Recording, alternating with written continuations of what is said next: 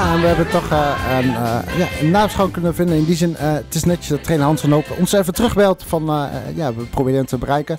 Hij speelde vanmiddag vandaag met zijn ploeg Wijten tegen SV Zolle, een regio om zo te zeggen. Ja, trainer Hans van Hoop, goedemiddag. Hi. Ja, jullie spelen vandaag met 1-1 gelijk tegen SV Zolle. Um, Anton Kleineschaas, die wij regelmatig gebeld hebben voor verslag, zei van ja, uiteindelijk wel een redelijk terechte uitslag. Uh, je ploeg was uh, aardig gehavend qua uh, besturen ze al. Um, ben je ook mee eens met zijn mening dat de uitslag terecht was? Of zeg je, er had meer in gezeten voor ons? Nee, over de hele wedstrijd is een terechte uitslag. Bij de eerste 25 minuten heel goed begonnen. Vol overtuiging, snel op 1-0 kwamen en vergaten de 2-0 te maken. En um, daarna kabbelt het wat voor de wedstrijd. En vanuit het niets uh, scoort uh, Zwolle in de, rond de nou, 35 minuten de 1-1. Ja, dan zijn we het even helemaal kwijt. Je toch het gebrek aan zelfvertrouwen uh, door de uitslagen. voor mij ook heel verwonderlijk hoe je dan na de eerste 25 minuten heel diep wegzakt voor de rust. En dan met 1-1 de rust ingaat. En ja, goed, dan de boel moet herstellen met elkaar. Moet zeggen, de tweede helft is er wel keihard gewerkt. Alleen het, het voetbal bleef heel erg matig. En ik vond Zwolle gedeeltes van de tweede helft toch de bovenliggende partij gevaarlijker, dreigender, zonder echte kansen te komen. En ik moet zeggen, ja, op basis van karakter uh, weet je laatste kwartier toch nog een aantal mogelijkheden uh, uh, te krijgen, die terug te vechten in de wedstrijd. Alleen over de hele wedstrijd, ja, een terechte uitslag. En moet je daar voor één keer maar tevreden mee zijn.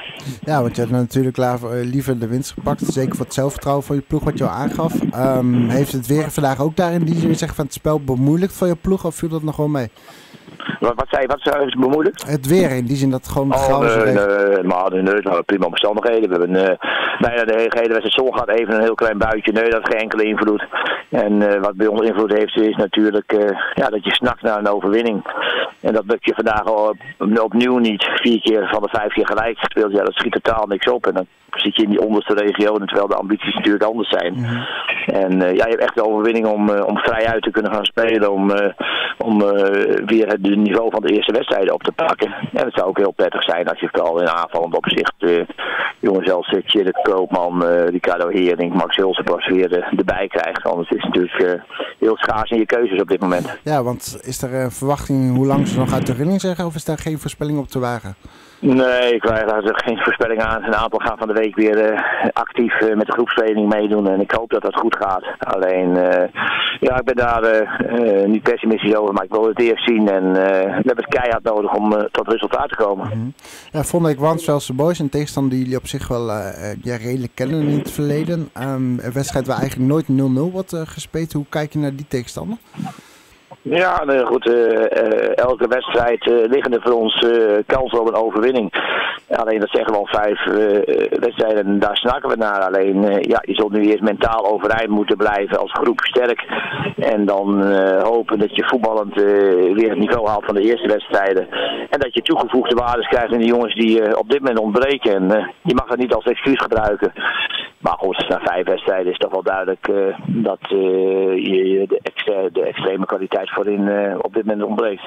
We zullen het uh, ja, merken volgende week of uh, ja, misschien wel wat spelers alweer terug zijn in die zin dat ze wat minuten kunnen maken om ja, de ploeg weer ja, misschien wat extra te brengen wat je op dit moment ja, graag had gewild. Hans, mag ik je danken voor het terugbellen en voor je tijd van nu en wij spreken elkaar van de week.